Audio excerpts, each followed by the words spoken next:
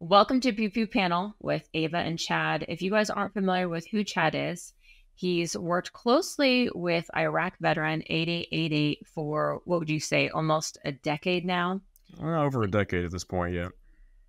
Yeah, and then you also started your own thing with Argos. That's right. Argos and that's what you've been pretty busy doing. Um, well, today we we both actually just got back from Shot Show just a few days ago, uh, which we're going to talk about, and then we're also going to talk about some of the new products released at Shot Show. So stay tuned for that. In the meantime, though, before we get into all of that, I uh, want to talk about Gideon Optics. So they have a one to ten by twenty eight LPVO, and Chad, you were just checking it out. You were actually kind of we we both haven't gotten our hands on this but you were just uh, doing some research online and it seems to be a pretty good optic, um, even as far as like the weight goes and everything. Absolutely. So the one to 10 is kind of the, the magic point in an LPVO. That's a low power variable optic. And these are mm-hmm. typically used on your short to like mid range platforms. Say you got a normal 556 AR that you want to drop an optic on that can kind of cover all the bases and you can get that 10 power. Um, up and get out to medium to sort of long range, extended ranges. Um, but for an optic in this price point, 34 millimeter tube coming in at 20 ounces roughly is a pretty good deal uh, overall. A lot of these cheaper optics, um, or less expensive optics, I should I should say, um, they wind up in the uh, high 20s as far as weight goes, and it's like putting a brick on top of your uh, your rifle. But it's got a glass etched second focal plane reticle. Uh, you've got adjustable windage and elevation, of course, 140 MOA, MOA travel and half MOA increments, and you've got 11, uh, 11 red illumination settings. So there's a lot of features packed into this optic at a really reasonable price point at 399 on sale right now. Yeah, normally it's 499, but yes, it's on sale 399. Check it out, GideonOptics.com. All right, so today is a mail call. So while I was gone, I got a firearm in the mail. Um, not delivered to my doorstep. You know, unfortunately, we don't live in that kind of country, but uh, delivered to the gun store. And I did have a chance to shoot it. It is the G Force Raptor. I'll be honest with you, I'm not super familiar with G Force. I've never shot any of their guns before. Um, just what I would think, I guess, right away is uh, very similar to like a Glock replica or uh, like an 80% gun that you would put together, maybe a little bit better than the 80%. Um, definitely has quite a bit of stippling on it, pretty aggressive. I will say, kind of hurt my hands a little bit when I was shooting it. Trigger isn't bad, uh, it's pretty reliable. Um, I didn't have any issues, even just kind of breaking it in. Even the first 50 rounds had no issues. That said, my sister got the exact same gun, and she was saying that even when she racked the slide, that it seemed like it was pretty gritty. And I know I was like, I didn't think that it was really gritty. It's pretty smooth, but she was also dropping her mags in the dirt. I think she dropped her gun in the dirt and she was like, yeah, eventually it wasn't it wasn't firing. Um, so as far as like stress stress testing goes, um, you know, I guess if you have one of these, don't get it dirty. I'll do my own testing. But this gun, what I liked about it is it ranged anywhere. I think it was like on average like $350. It's optic ready. Um, comes with some pretty nice sights. Let's see if I can show you guys without flagging myself here. Uh, nice tritium, uh, or I'm sorry, not tritium. Um, what is this called? The the uh, the colored, the little colored things. Um, I can't even think of it right now. I feel like if if you guys only knew what we went through a shot show and then having to record this just like a few days after and when we're playing catch up and still trying to catch up on rest and stuff like that and catching up on work, uh, it's been um, a really long week. Um, and then it also holds 15 rounds. So not a bad little gun. Um, but the reason why I told these people that they could send it and I would do a review is because I do like the way that they approached it. They said, hey, even if you don't like it, um, let us know. You know, you don't have to record a good review. We just want an honest opinion.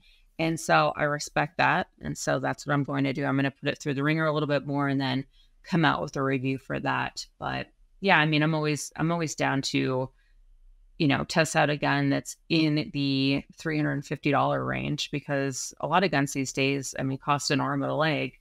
And unfortunately, I don't think that that should be the case if you want, you know, if you want protection, you shouldn't have to go out and, and spend a ton of money for that.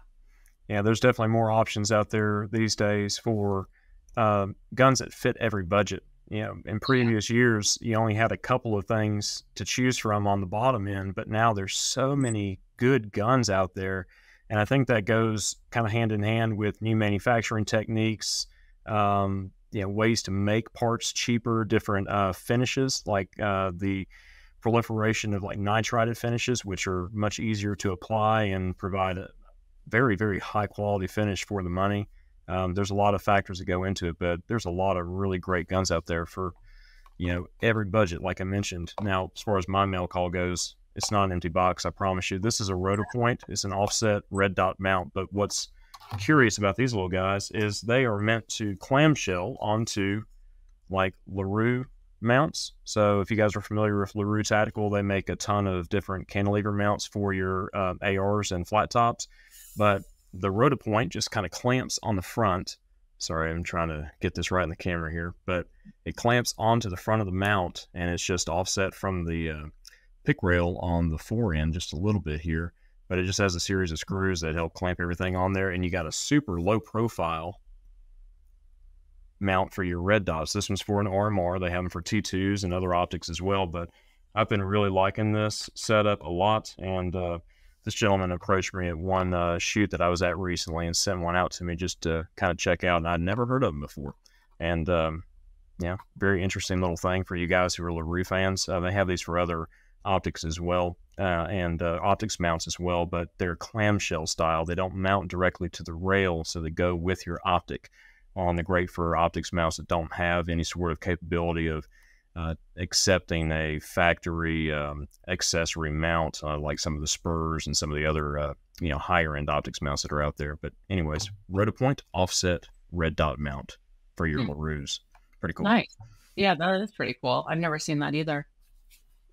Uh, all right. So now it is the Would You Rather segment. We did not have a question, but if you guys just have a fun, you know, would you rather, uh, it could be anything. It could be something serious. Like, would you rather train in hot weather or cold weather? Would you rather eat pancakes or French toast? Or, you know, I mean, those are very serious questions. Or if you want something that's just kind of made up, feel free to ask us. Uh, best way to do so is email us at pewpewpanel at gmail.com.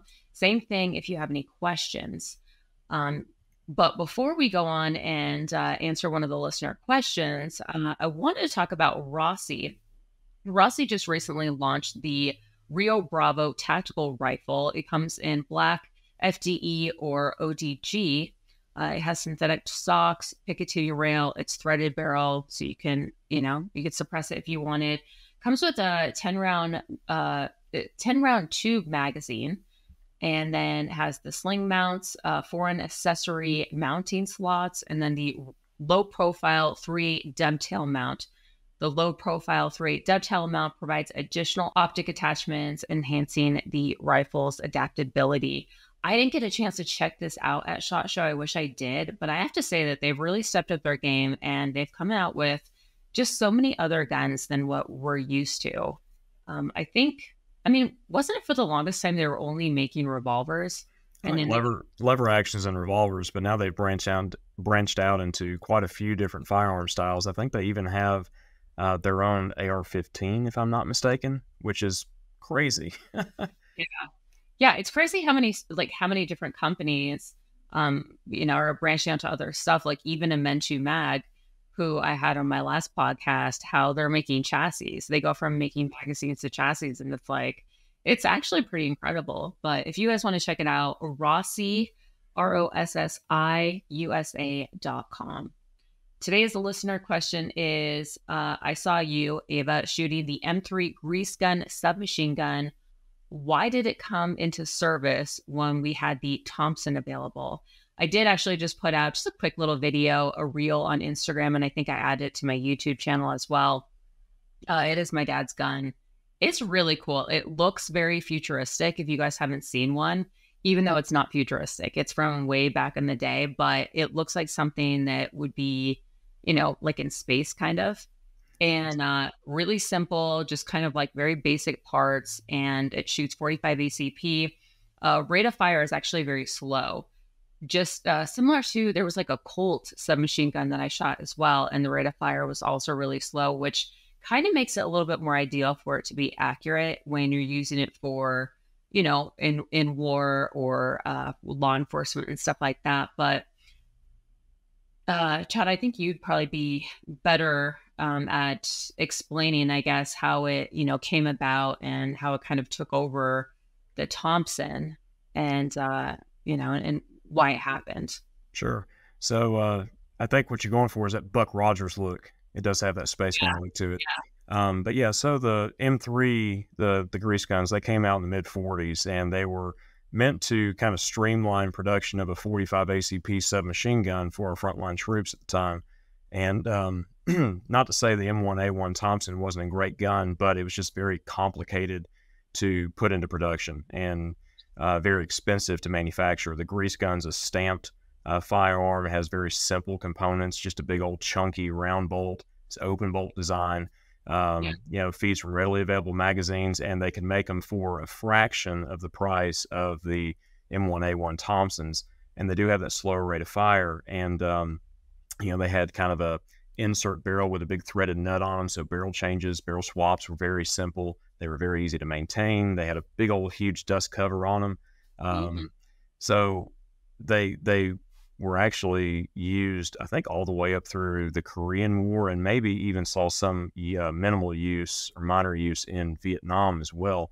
But um, they are definitely an interesting uh, design and an interesting gun for the for the history books for sure. Oh yeah, I mean, I don't. Mine didn't even have a safety. It was kind of just like, okay, insert the magazine. Mm-hmm. Pretty and, much. Uh, and then even with it firing with the bolt open, also kind of throws you off. And then as far as like the dust cover, I mean, it's just this, it almost looks like a, um, like uh on if you were grilling like the top cover of a grill that you just put down it was just i was like oh okay well we're gonna shoot this but it was a lot of fun and obviously i will never say no to shooting any sort of full auto mm. uh, that was good so yeah a little bit of a uh, little bit of slice of history for you guys um, now listener comments. So this guy, uh, J Treadwell Gmail, he said, uh, let's see, just lost my my thing. He said, power responsibility must at all times be commensurate.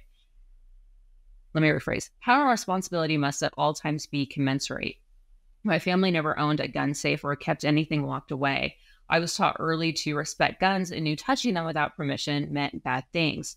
We don't need more laws, we need more responsibility. A gun represents a great amount of power, particularly carrying a gun in public represents the readily available ability to take a life. These things should never be taken lightly. If you cannot be responsible with the power bestowed upon you and protect and protected by our great constitution, then maybe it isn't for you. Um, all that being said, I am not advocating that we don't need to store guns safely in our homes storage and education both fall under the umbrella of responsibility. Great, great topic. Keep them coming. And I, I gotta say, I mean, I do kind of agree with that. I know growing up, um, my dad always kept a loaded shotgun right by his side of the bed out in the open. It wasn't concealed at all. And my sister and I always just knew, like, don't go in my parents' bedroom, don't touch the gun. We knew it was there for. We knew what it was capable of doing, and we just weren't curious about it. And we had a respect for firearms. Mm-hmm. And now you know, parents will go out of their way to teach kids responsibilities to an extent. Or if nothing else, they'll say, you know what, we're not going to tell them that we have a gun. We'll keep it, you know, up in a high shelf on a closet or something. And they're not going to touch it and we'll be good to go. But that's not always the case. So I think that there's a lot to be said about one, demystifying that curiosity, but also taking out uh, I mean, I guess uh, embedding that responsibility in your children, whether you own a gun or not. I think that it's definitely a parent's responsibility to do so. It is for sure. And um, as a father of four children, I share that sentiment.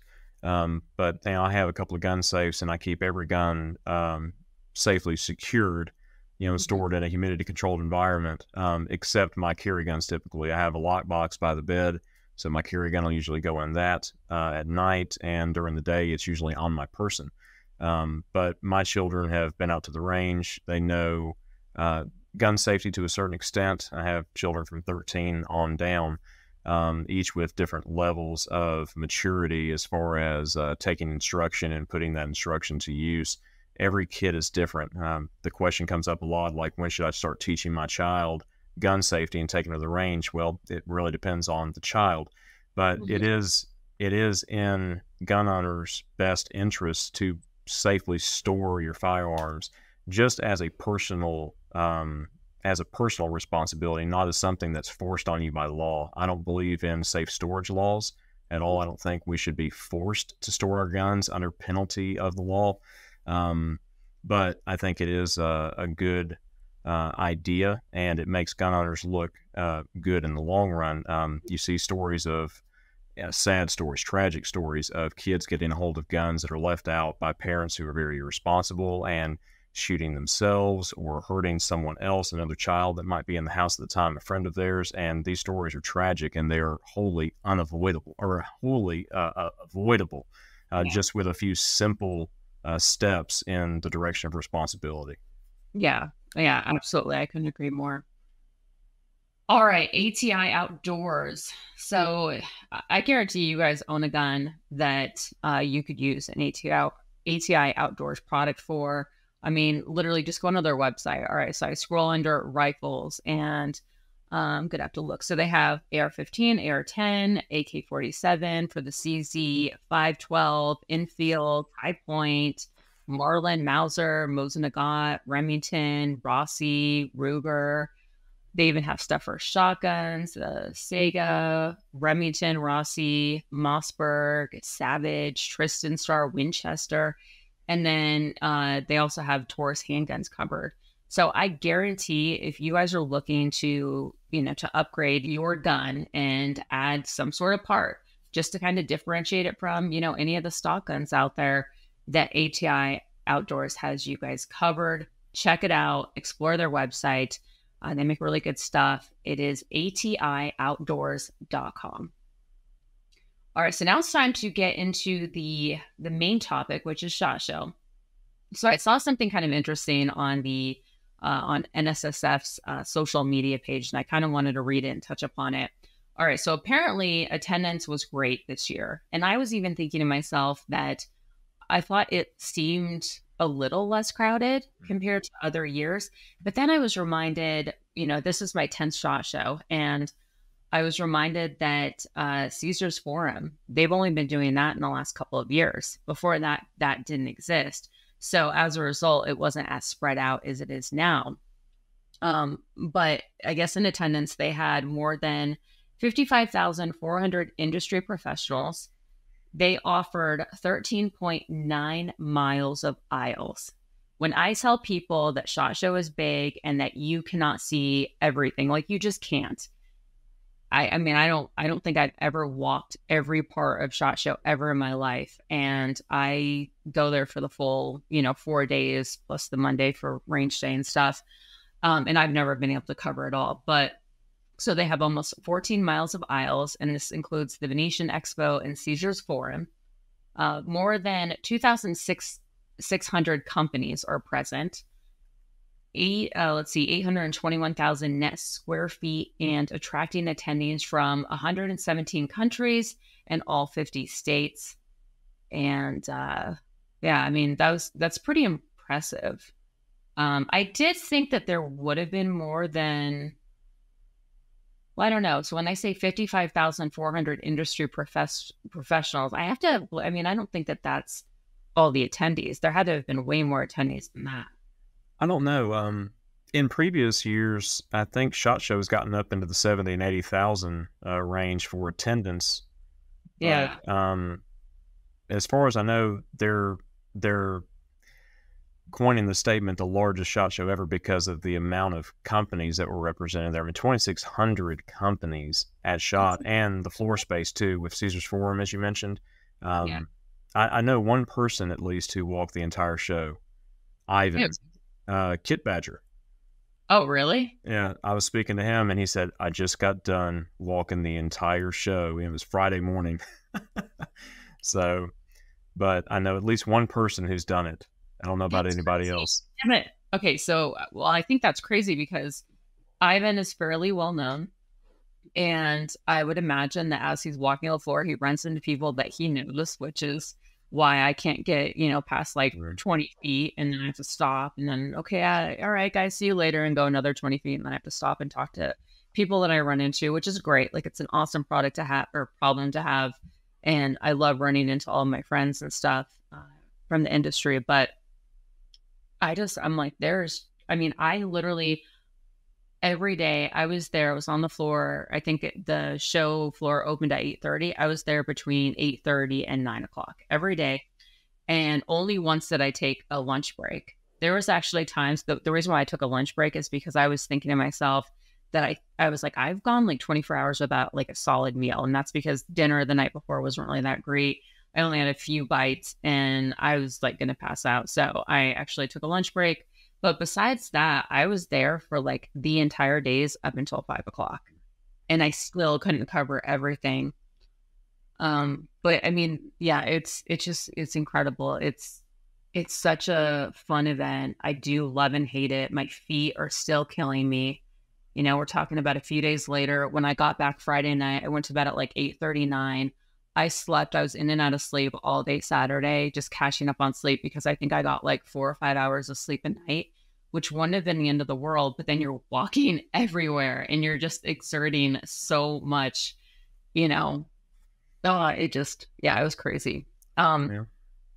All right, so let's talk about some of the stuff that we did because I know that my shot show is a little bit different than yours. That's right. Yeah. So I'm usually working the show. So we were um, we were there to film for uh, Get Zone. So we were doing the What's Hot at Shot segment that they put out each year, and um, working the show, you don't really get to see as much because you're kind of bouncing between booths and you know scheduled visits and everything to try to get these pieces of content out. And I do everything: filming, editing, syndication, and it's just like lather, rinse, and repeat. Um, yeah. Monday we were at Industry Day at the range. I was filming a bunch of B roll, and um, Tuesday morning went to the show floor. Stopped at lunchtime. You know, after doing several pieces of content, uh, dropped some files, tried to edit a little bit. Got back out on the show floor, finished the day out. We did ten pieces of content that day.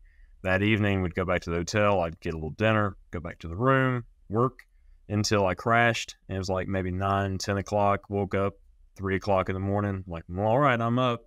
Get some coffee, back to work, go to the media room, upload stuff. I just repeated that cycle all week, and I finished out. Uh, we did 28 videos, and I had them all uploaded, syndicated to two YouTube channels and their platform, all by Friday morning before the show opened. So I actually got to visit a few uh, people around the show that I wanted to see on Friday morning before we headed back.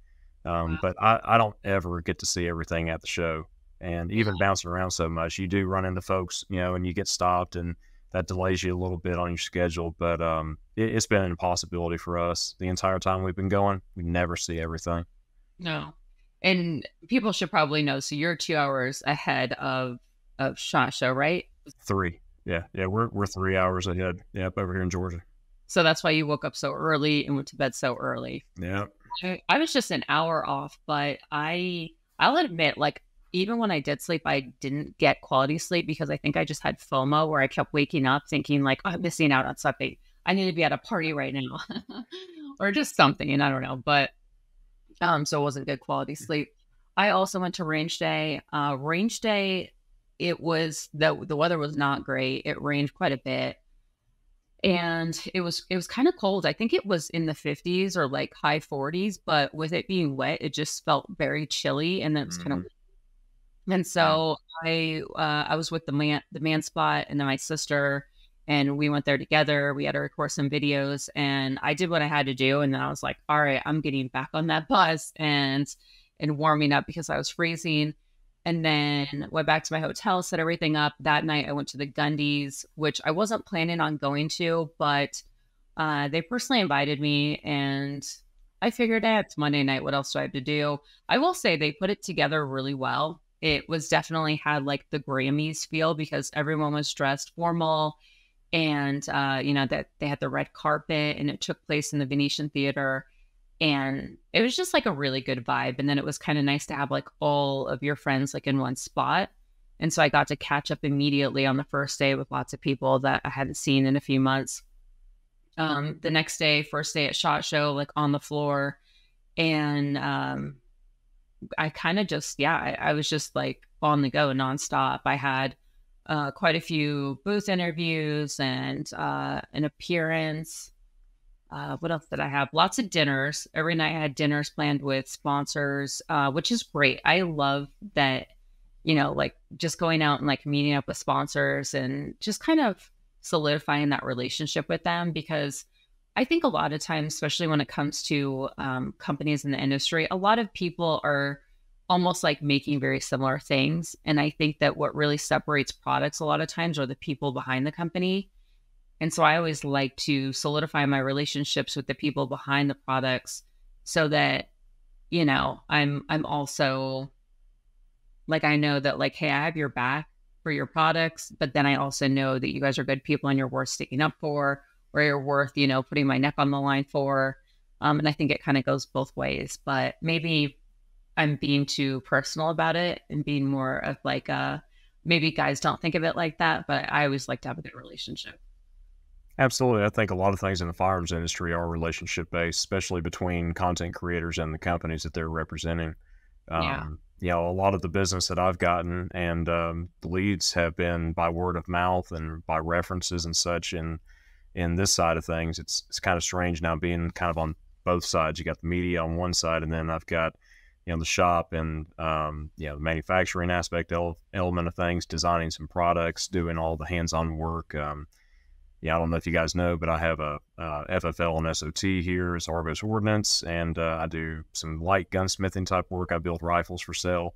Um, any of you guys who know me from the channel, you've known that I've been very OCD about rifle builds over the years. I put um, a lot of attention into every one of these uh, bills that are going out the door. Uh, I recently got certified for Cerakote uh, back in October, so I apply Cerakote here at the shop um, on a factory level and the custom shop level.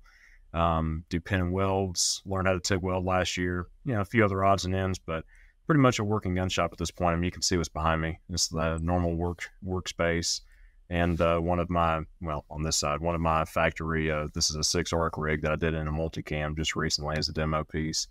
But um, yeah, it's it's pretty cool being on on both sides. But doing a lot of hands-on stuff is really where my heart is. You know, these days I just love uh, I love when customers call up and say, "Hey, we saw a video that you guys are doing, you know, this over here, you know, rifle speed installs," and uh, I'll get a call in and I get a customer and do some good quality work for them, and they spread the word. So.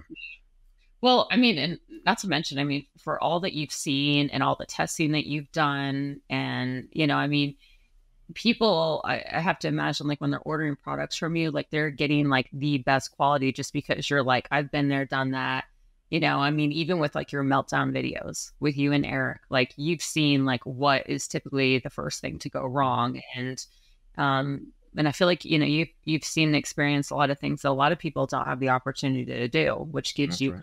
Edge on the competition got a bit of an edge yeah but i just try to do things right and um like you said, we've gotten some guns in, in the past that weren't set up right out of the gate. They may have had some loose components on them, and you know these are guns that are thrown together on the assembly line. I mean, I, I use a 40 point quality control checklist with every gun I send out the door, and even the uppers are quality control checked, and everything's test fired by me right now. So, um, um, you know, it's it's pretty cool. But uh, this is a great industry to be in, and I've been happy to be in been in it for the past you know gosh, 12, 13, 14 years, and just um, seeing how seeing how the industry as a whole has changed and the customer base has changed. There's been a lot of um, a lot of things over the years with more women getting into the shooting sports. Mm-hmm. Um, you know, a lot of different nationalities getting into the shooting sports. Um, you know, things like that. But it's really cool to see everybody kind of coming together as one huge community, and that's what we need these days, especially on the political front. Yeah, absolutely. I couldn't agree more. Um, so I know that you you mostly filmed and edited uh, through Shot Show, but I mean, did you have like a favorite moment, or was there something that you saw that you're just like, wow, that's incredible? You know, any any favorite product? There was quite a few launches at Shot Show this year, as with pretty much every year. But there were, um, I think, probably one of the coolest things I saw, and you know, take this with a grain of salt because I didn't get to see a whole lot of the show. Mm-hmm. Um. But I was trying to meet the owner of Rifle Speed over at the agency booth uh, throughout the show, and I kept missing him. Finally got together on Friday, but uh, at agency they had Genesis Arms and a few other companies, Cloud Defensive and such over there. But uh, I was told to go look at a Genesis five inch PDW shotgun with a flow through LE and mill only HUXWRX 12 gauge can on it. I'm like, huh, okay. So this thing, it was like a kitty cat, you know, yeah. rig, but it's a five inch barrel, 12 gauge auto loader and uses their kind of dual um, action recoil system. It, it kind of combines the features of an inertia system with that of an A5. So you got a little bit of a reciprocation in the barrel, and then that inertia system takes over to kind of reduce that recoil and get that thing cycling. Uh, some pretty light loads overall, uh, similar to like the old like Benelli M2s. They're pretty good at cycling a good wide range of shells. But uh, this thing was literally like it's like 24 inches long, even with the can on there. It was so tiny. Um, but that was pretty cool. And uh, you know, agencies got their GPR rifles, so there's more companies that are putting the RifleSpeeds in their guns. And I like what mm-hmm. agency's doing. It's a little bit different than what I'm doing. I'm used to using the standard blocks, but I use the RifleSpeeds in every build I put out here in the shop, and uh, they're fantastic blocks. But it was really cool to see all those companies kind of coming together in that one place. And Genesis has always done some really neat stuff with 12 gauges, and uh, you know they've really taken the kind of AR style magazine fed 12 gauge to the next level for sure. Mm-hmm. Yeah, absolutely. As far as RifleSpeed, I actually had the owner on my podcast and talked to him, but that's that was a, a really great design. The fact that you mm. can you know, the gas and stuff like that. Absolutely.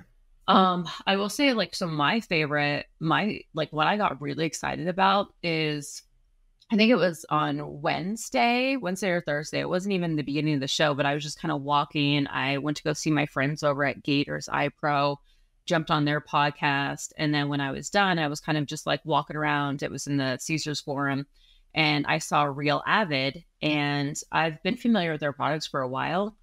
Um, I don't think I own any of their products, or if I do, it's just like a few things here and there. I don't own much, like too many uh, tools when it comes to, you know, like for for guns.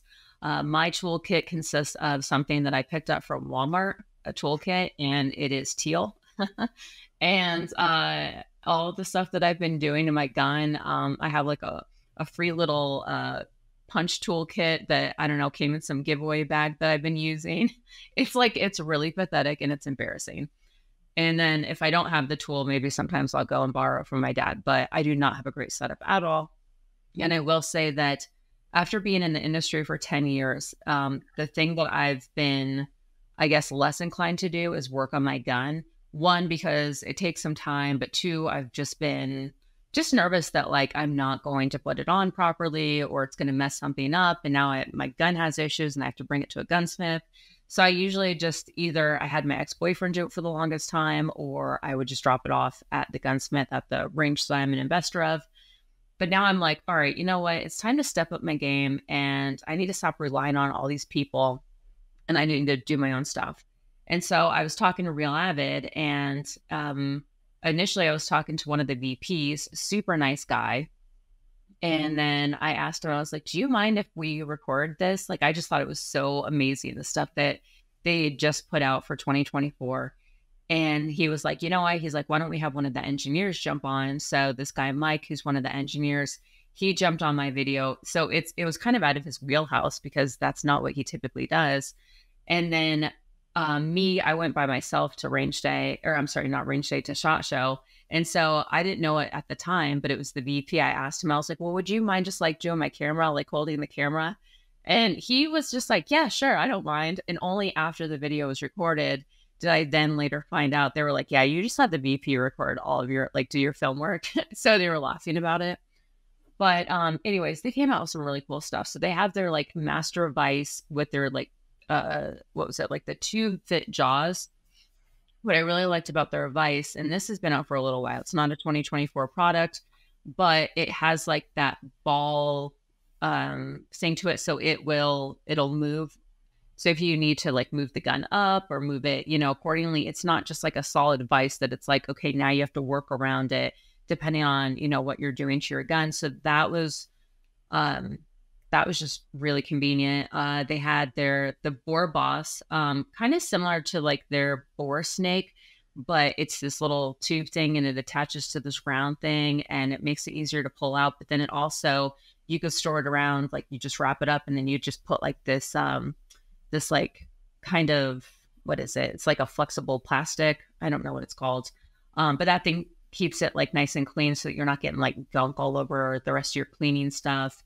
They had the uh they they did put out like a really cool cleaning kit that had like three different layers to it.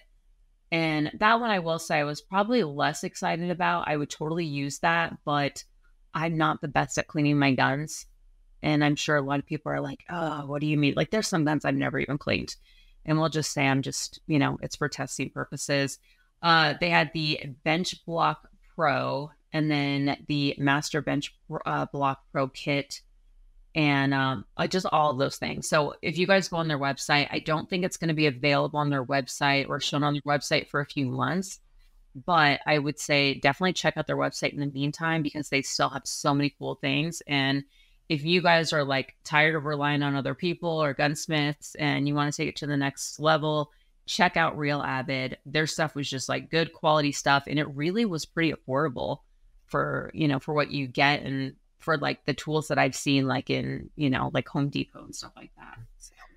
I've got one comment about their master gun vise. Uh, I had a customer come in and um, I was building out an upper for a buddy of his. Uh, he had a Grey Ghost upper with uh, upper receiver with one of the Rosco 12 and a half inch uh, K9 barrels. They have an intermediate gas system. So mm-hmm. I wound up having to make a custom tube for him for the RifleSpeed block. Um, I just took a, a, longer gas tube and turned it down the lathe to the proper length. But, um, and uh, the barrel had to be thermal fit. And he was asking me what kind of vise I use. I said, well, I just use an old machinist vise. It's just like you know, machinist vise with the pipe jaws and everything in it. It's just a big solid hunk of cast iron, you know, no big deal. Um, he said, well, have you seen these real Avids? I said, huh? Like, what are you talking about?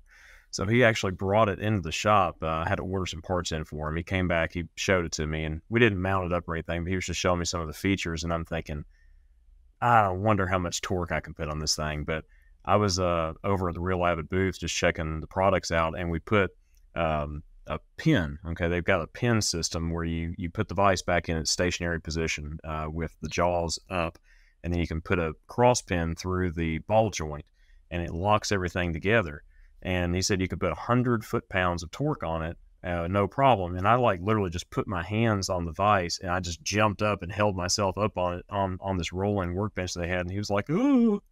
Um, but I mean, the thing seems pretty solid for like kind of the at home builder who's just a hobbyist and whatnot. But yeah, I mean, I could probably use one in the shop uh, just for the articulating function. There's a lot of times where I'll need to turn a workpiece a certain angle. To get a mm-hmm. pin out or be able to see what I'm doing, especially if I'm, uh, say, polishing some feed ramps or whatever the case may be. Um, I like to work at a certain angle, and that vise would probably help me out here in the shop. And they do have a bunch of different uh, insert jaws. They had one for suppressors. That was one of the first things I asked. I'm like, do you guys have insert jaws for suppressors?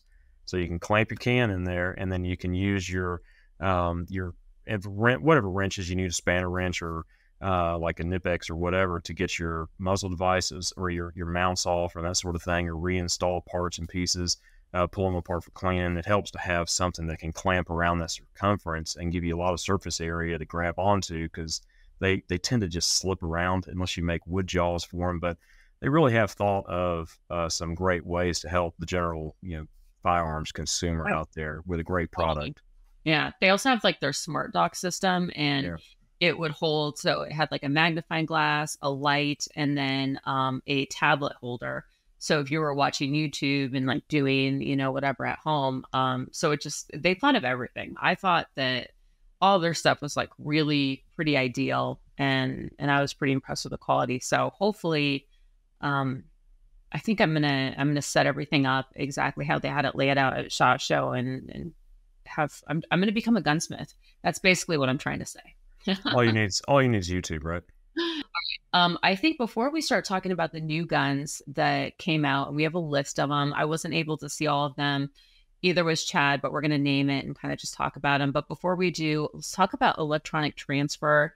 And um, Chad, you actually use them. It's a it's a merchant service. You use them for your store, and I believe did you meet them when they came to your range day? I did, yeah. So I got to meet um, several of the uh, folks that I chatted with on the phone, and that helped me get set up with electronic transfer. But they're a very firearms friendly merchant processor, and you know, as you guys know, there's been a lot of uh, negative press um, for the gun industry in the past several years, and a lot of merchant processors have pretty much just shunned gun companies and retailers from their merchant accounts uh, and a lot of times they'll just cancel you outright. And then all of a sudden you've got an e commerce platform that you can't take payments on because you've been canceled. Uh, mm. e- uh, electronic transfer will never do that to you. Uh, they're very 2A friendly, very firearms friendly, and um, they actually helped me get my account set up specifically for Gunbroker. I needed a payment processor to be able to accept credit cards on Gunbroker, and they were immensely helpful and got me through the whole process with relative ease. And you know, their fees are very, uh, very fair. The monthly, uh, you know, fees are affordable, especially for a small shop like mine. So it really fits into the budget quite well. Yeah, that's nice. I didn't know that they had that uh, ability to get you set up with Gunbroker too. So mm, that's absolutely, you know, that's huge. All right, uh, let's see here. So some of the new guns. Um, all right, so we had the Smith and Wesson. They had their lever action. There was actually quite a few lever actions that that launched. I saw even uh, Stag Arms, Aero Precision. Aero mm-hmm. Precision had a tactical lever gun that looked really cool. I'm hoping to get my hands on that. Um, Daniel Defense, they have a new handgun. Well, they, they have their only handgun. They released their first ever handgun, and it is the H9. If you guys think back to a few years ago, I'm trying to think when the Hudson H9 came out. I want to say it was like in 2018, 2019. Hmm. And um, they had, I mean, it was a couple that designed the gun. They had a really incredible story, and lots of people loved that gun. I remember shooting at the range, and it shot really well. Um, but unfortunately, I think it was like two or three years in, and they went out of business. And so Daniel Defense, I guess, I from my understanding, I think they bought the machinery or something, and they have brought back the H9. I did an interview with Daniel Defense, and unfortunately, none of the old parts or even the gun for that matter, is compatible with any of the new stuff. It's not the same gun. It looks like the same gun from the outside. Internally, though, it is not. So if you guys bought an H9 and you were like, cool, finally, you know, I could maybe send it to Daniel Defense to fix if it broke or something, I don't think that's going to be the case, unfortunately. Well, I'm glad that a company like Daniel did take over the design because it was a uh, a great concept. Um, yeah. Super low bore axis, very unique recoil system um, to keep the felt recoil down to a minimum, you know, for faster follow up shots. Uh, just a really cool design overall, but it did have its, uh, you know, gremlins for sure. And, um, yeah, we were speaking with Daniel Defense while we were over there filming uh, as well. And um, they were just, they were reiterating the amount of time and ammunition that was spent basically redesigning the internals of that gun from the ground up. Uh, we were told that they spent 11 or uh, they they uh, sent 1 million rounds downrange in testing to make sure that that gun was good to go over the course of the past several years. So okay. crazy. crazy. Yeah. Uh, let's see. Beretta uh, launched the 30X, which is chambered in 32 ACP. It's, it's essentially just like a pocket handgun. Um, what I liked about that though is I was talking to my friends over at Federal, and they recently took 25 ACP and 32 ACP and uh, came out with sort of a new new uh, self defense round. Um, they've well, they sort of, I guess, uh, made it better, and uh, which I, I thought was kind of cool because they're definitely catering to people who you know, in that little small niche of people that do carry that for self defense. And so they were like, all right, well, if that's what you're going to carry, we want to make sure that you have the best ammo. So, um, so that's kind of cool. I do wonder if more people are going to come out with guns that are chambered in those two calibers.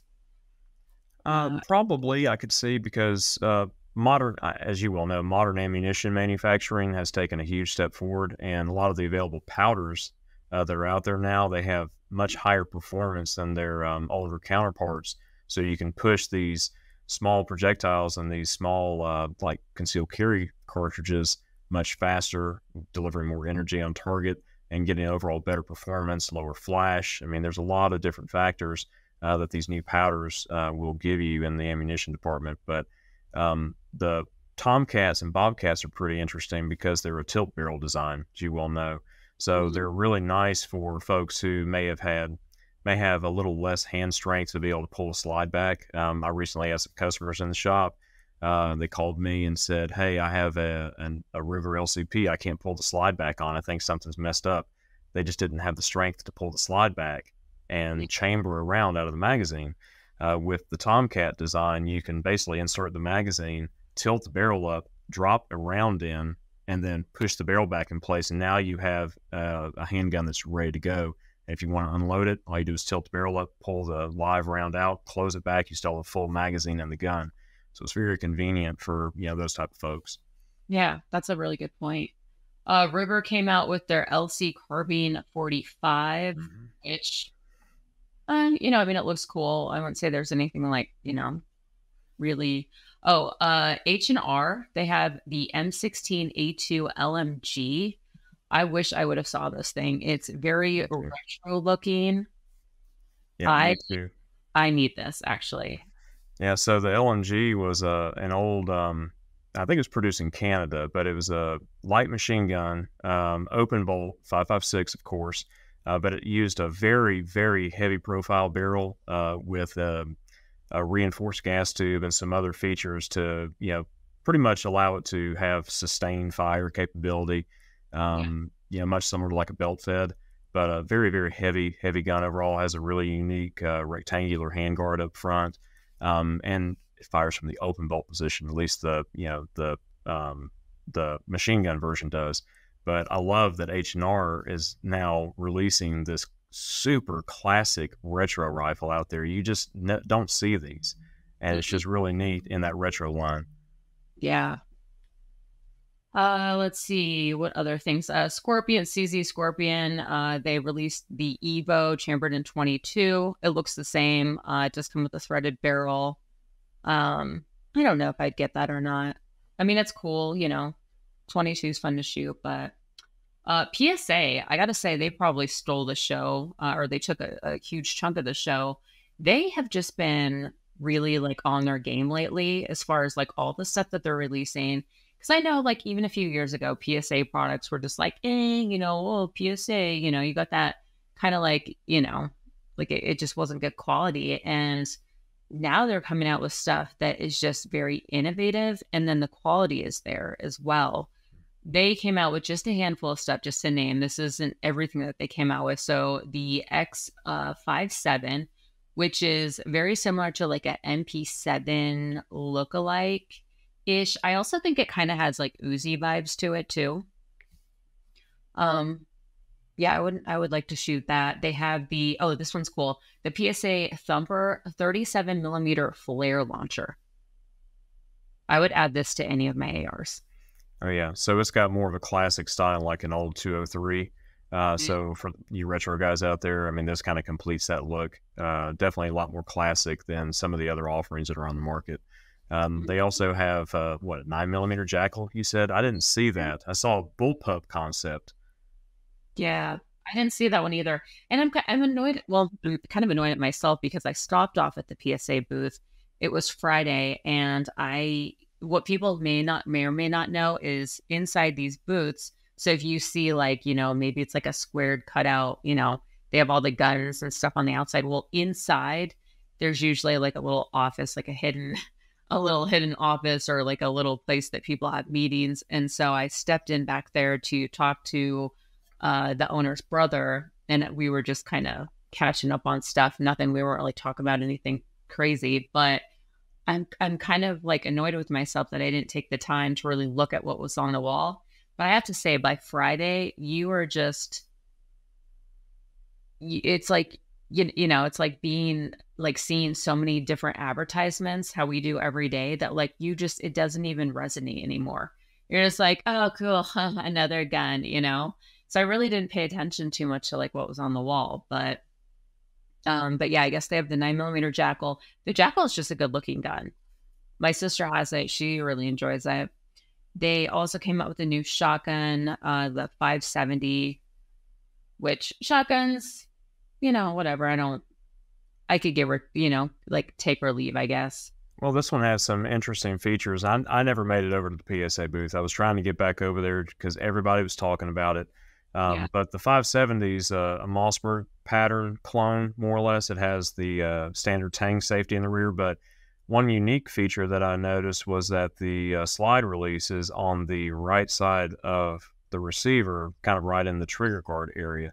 So instead of the slide release being like, you know, yeah, you got to reach forward and you know push the lever and then pull the slide to the rear to yeah. uh, initially uh, chamber and everything. Um, you've got that button right there on the side of the receiver, so you don't really need to change your hand position. And the receiver extent or the uh, the magazine tubes, uh, they actually thread in place at the receiver. Uh, they're not press fit or anything with a pin, and then um, tensioned with the uh, installation of the front cap. It looked almost like it had a, a uh, like a barrel nut on it, almost uh, kind of like the Remage type barrels. Um, but definitely a unique feature. I'd like to get my hands on one to check it out a little bit closer and see how they do. They had a line of bolt actions too. I saw that used uh, Remington 700 pattern receivers and then Remage style barrels with the Savage style barrel nut. So everybody's kind of getting into shotguns and bolt actions, which is yeah. just increasing their lineup, which just gives them more more customer base. I mean, yeah. I think it's great. Yeah, that's a good point. They also had the STG 44, which is kind of like the clone of the STG 44 machine gun um, which you were saying actually before the show started. To your like, you think it was the first successful machine gun, submachine gun out there, right? Well, it was the first successful like actual assault rifle, a real assault rifle. Um, you know, in a time when uh, the weapons of war were bolt action rifles, you know, and then uh, different types of machine guns, so big water cooled machine guns at the time.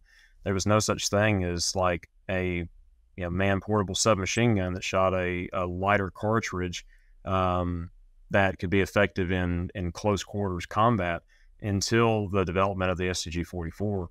Uh, as a German design, uh, you know, stamped sheet metal construction, uh, very unique and very futuristic. I mean, this thing was way beyond any of the technology that was out there at the time when it was released. It was chambered in the 7.92 by 33 Kurz, uh, for short.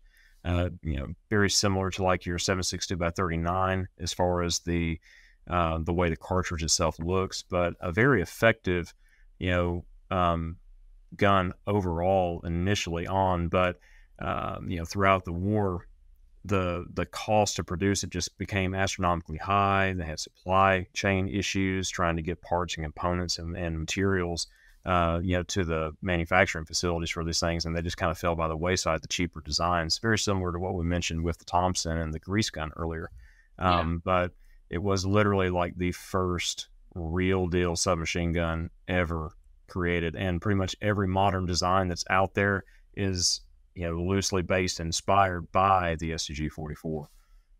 Wow, yeah, I gotta say, like as much as you know i don't want to give them credit the germans because of like the holocaust and stuff they really were ahead of their time i mean even my dad has said that like this the you know the stuff that they came out with was just like light there's some some brilliant minds in germany yeah. and you know it it it's a it's a shame but i mean history is history but you know you have to give credit where credit's due and they did have some amazing designs that came out of yeah. the war and such um, now, all right, so you mentioned PSA had the X57. Tommy Built has the real deal, like semi-auto MP7 clone, like a real deal clone available now or soon, I should say.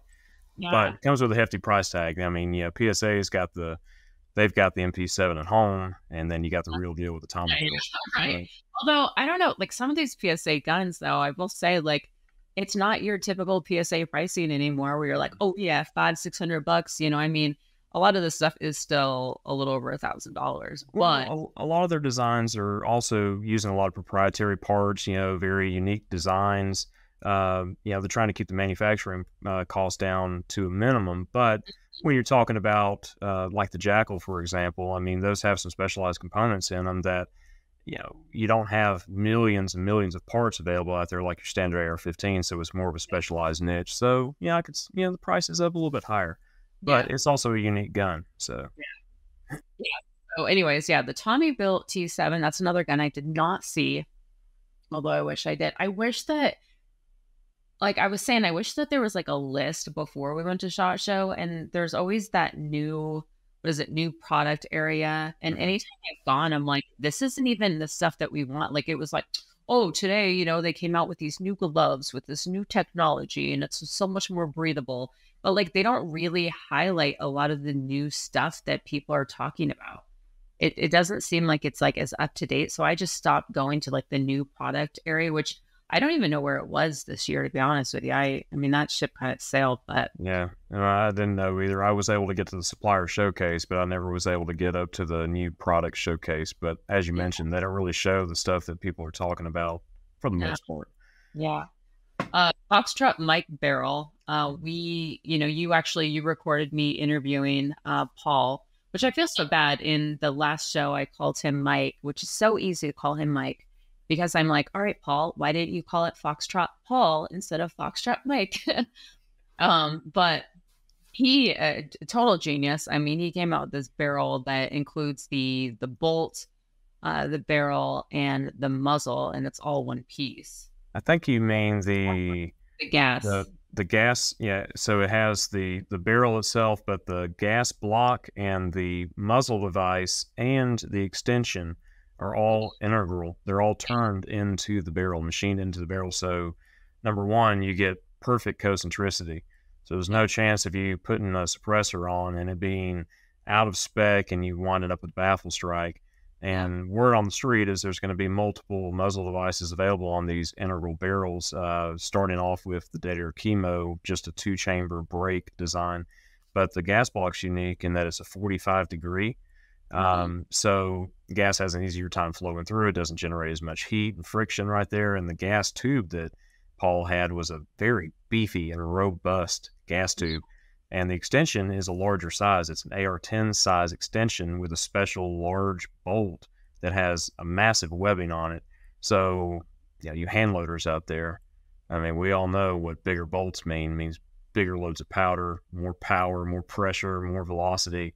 Um, So, without running the risk of breaking your standard AR-15 bolt, so this will be awesome And when he starts offering them in like the six arcs or six five Grendels that typically suffer from that real thin web on the bolt face and are prone to breakage with overpressure hand loads and such that are kind of outside the spec of normal commercial ammunition.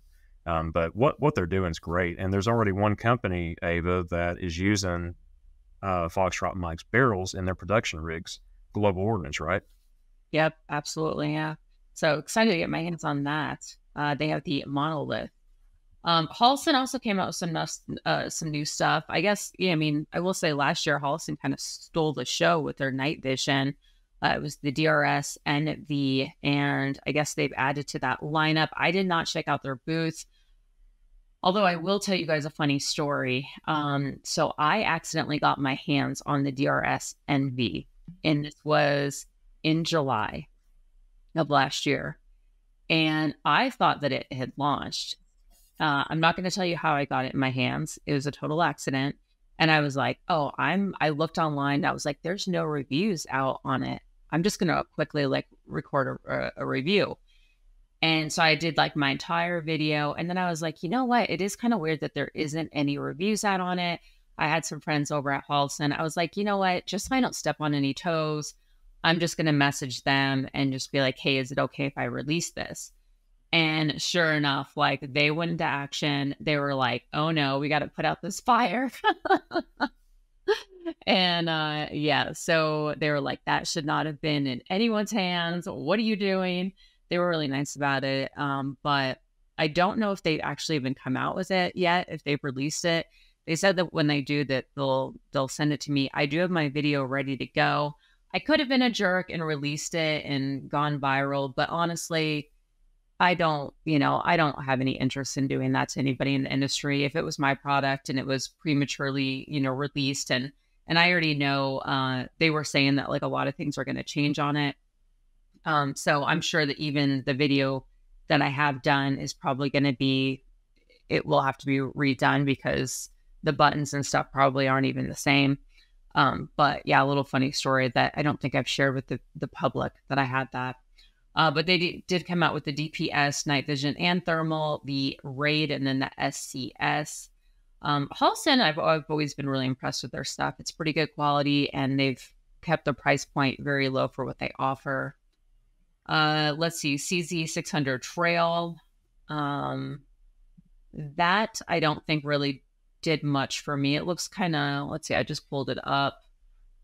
Uh, oh, it's okay. So it's new. It's a new rifle chambered in a 300 blackout. So the trail is is kind of a. Uh, it was new last year, but they have a couple of um, kind of chassis style models with the sliding stocks, and they mm-hmm. released a 762 by 39 and a 556 uh, last year, maybe the year before, but one of the big selling points was supposed to be barrel interchangeability, and uh, they had a lot of issues with um, the barrels and retaining accuracy and you know, just being good shooters in general. So they went back to the drawing board, removed the barrel interchangeability feature, and just made them standard guns chambered in whatever you got out of the gate um, with a standard thread and barrel instead of their set screw system. But uh, they've released a 300 blackout version of that, which that's kind of the gun that I was looking for a while back, just mainly for suppressor metering and such, like kind of a neat bolt action that kind of fit a bill. It could, you know, the stock could slide in. You could make it a little bit more compact, and I thought it'd be a really handy, uh, like SBR, cutting the yep. barrel back to maybe nine inches or so, and throwing this little short can on there that gave you a nice compact package that you could just about throw in a ruck and have, you know, five five six or three hundred blackout capability pretty readily. Um, but they've got some classic versions as well. It's just kind of a new line of bolt actions for them. Uh, I think they've got an American series. They've got some of the more European style with nice walnut wood stocks. Um, but I've always been a huge fan of CZ. Anybody who's watched the channel knows that we've always really loved the CZ products over the years. But um, I, I, like the trail, and I think it's pretty cool. But um, so SilencerCo, they've got some new cans, right? Um, everybody's kind of been going through these new flow through designs, but they've got a Spectre 9 out now, which uh, the Spectre uh, is one of their older 22 cans. They've got kind of an upgraded version for 9 millimeter that fits into a nice budget price point. And then their Velos, they've expanded that lineup. Those are their low back pressure flow through style cans, uh, sort of traditional baffling with some internal venting, uh, just to reduce that back pressure on your semi auto uh, applications. Actually, so uh, have you heard of the company Disavowed Group Suppressors? Uh, no, not until you reached out the other day about them, and I thought the claim was pretty pretty uh, dubious to say the least. Yeah, but I don't know. So I, I saw like a quick, um, just a, a really quick interview with uh, Garand Thumb, uh, Mike, and then uh, Clint Morgan from Classic Firearms, and it seems like they're doing something that is pretty unique. Um, but I, I was like, it was even hard for me to wrap my mind around it. But essentially, they're just kind of eliminating, you know, like kind of, uh, how do I explain the it? The way you said it was like they eliminated the sonic crack of the projectile out to 150 yards, which uh, I'm, but I just, I just don't feel like that's impossible to do because the projectile is moving, okay, outside of that suppressor. And yeah. the suppressor is designed to, capture that muzzle blast and reduce the sound pressure levels at the muzzle and at the shooter's ear, right? But as that projectile is traveling at supersonic velocities, it's generating those pressure waves, all right? And those pressure waves are going to propagate. No suppressor is going to stop those pressure waves from propagating once that projectile is outside of that environment. And yeah. the you can shoot like a you can shoot a 556 AR at about maybe 10 to 15 feet away from a berm and you'll just get that loud thump. You won't get a sonic crack because the waves haven't had enough time to propagate. Um, but outside of that range, 25, 30, 40 yards and onwards, those waves propagate. Those that sound pressure comes back to your ear, and you know it's traveling way above the speed of sound, so it's going to generate those sonic booms, sonic cracks that you normally would hear. Um, I I just don't see any way of mitigating physics in that way, and there's been uh, some there, has been some imaging technology that you, you can find out there on the internet. It's called uh, Schlieren imaging, and it uses a series of parabolic mirrors and special camera angles to record sound pressure waves. You're, you're basically recording the shadow of the sound pressure waves. And uh, if you guys follow Smarter Every Day, it's a great YouTube channel. Uh, he just he takes a lot of things and just puts a scientific back backing into it and he did one episode on 300 blackout and the Schlieren imaging technique, and I thought it was very interesting. But you can literally see those pressure waves between supersonic and subsonic projectiles, and you can kind of get an idea of what I'm talking about. But I don't know. I'd have to see some data to back up those claims and maybe some testing. But look, I'm gonna say this, and some people probably gonna hate me, but a lot of folks out there they'll do some testing with like especially with suppressors they'll use like those amazon sound meters yeah. right and they're not made for it they they just can't handle those impulse pressures. You know, yeah. the the mics aren't set up for it, and they'll put out these results thinking that they're like they're actually doing science. Um, yeah, I've done a lot of suppressor metering over the years with various uh, types of meters, you know, to the military standards. And, you know, when I see stuff like this, I'm thinking, I don't know about that. But, eh, yeah. you know, teach their own. They can There's prove it. Hey, I know. Regardless, suppressors have definitely come a long way. And then I've also heard, you know, now with them being able to 3D print with Inconel, mm-hmm. um, that's also, you know, given us a huge advantage. So I don't know. Uh, the Kel-Tec uh, Sub 2000 Gen 3, I got to check that out. Um, just kind of cool. So not only does it now like just fold, but you can like rotate it so you can still keep, you know, your red dot on it.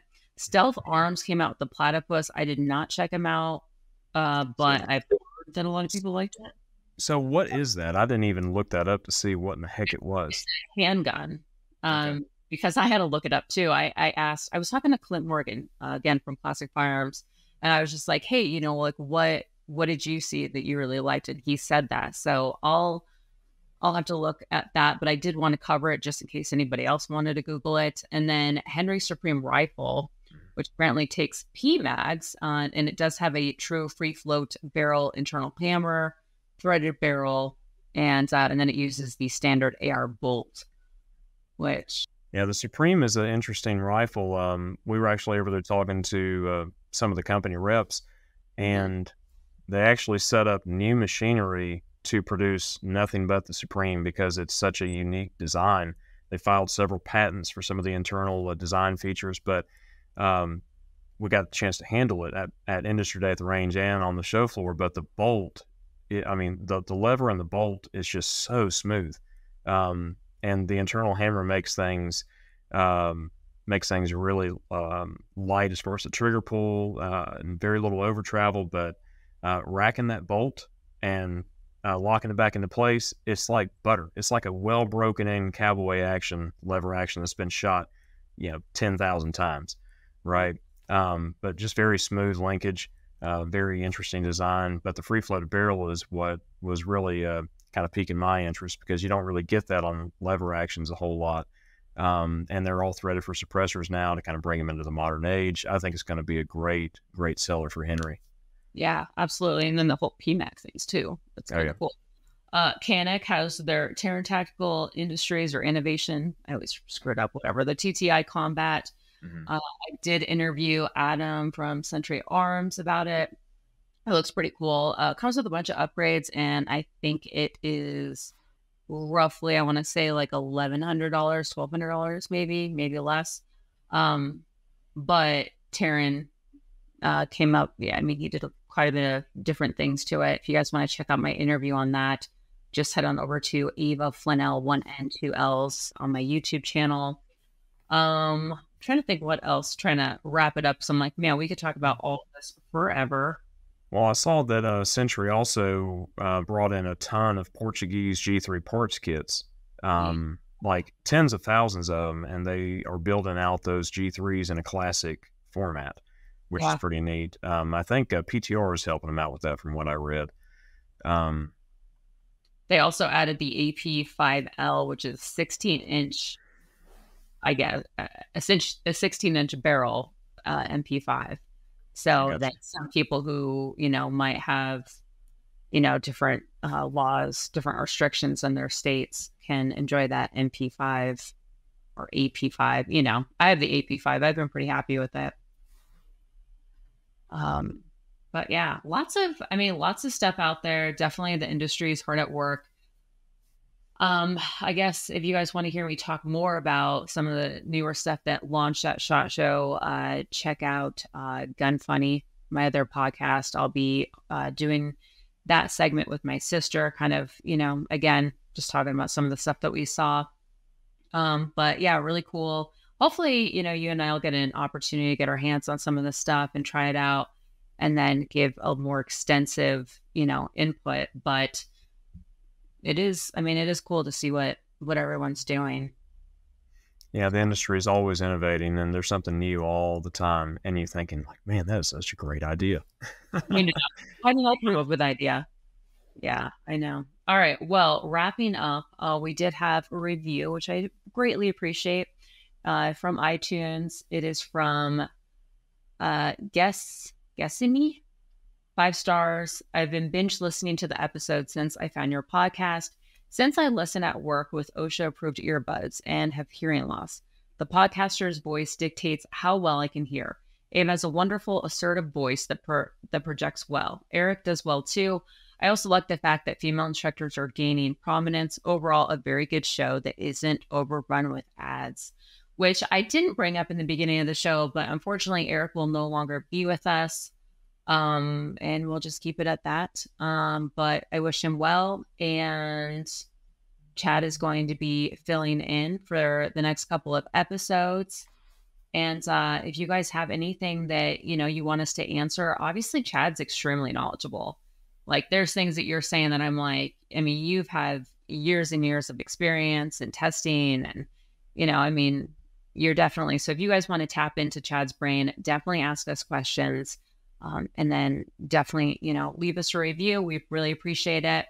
And you guys will hear from us next week. Oh, and if there's also any topics that you'd like us to cover, by all means, let us know. And uh, wrapping up, Chad, for anybody who wants to check out all the stuff that you're doing over at Argos, what are what's your website, social media, all that good stuff? So you can uh, find us online at argosordnance.com. That's O R D N A N C E, no I. We're, we're talking about guns, not laws. All right. Um, on social media, pretty much at Argos Ordnance across the board.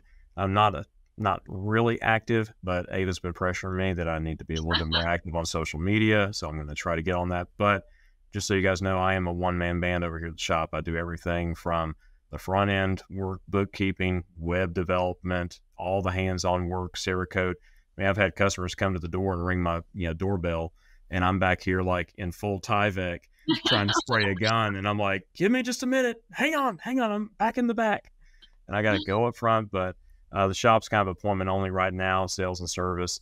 Um, but you know, it's growing word of mouth a lot. But uh, yeah, follow us on online. Um, you know, you'll be seeing some cool stuff. I usually post Cerakote projects and other things that I'm working on there. Um, but you can find um, yeah, more information on the website and definitely sign up for our email list. You get a little coupon in your email. I won't say for what. You got to sign up to find out. But uh, any purchase you make on the site, you get to use that coupon right out the gate. But uh, I appreciate it, David. Thank you much for having me on the show. Of course. Yeah. Of course. Thank you guys for tuning in. And like I said, we'll see you guys next week. See you.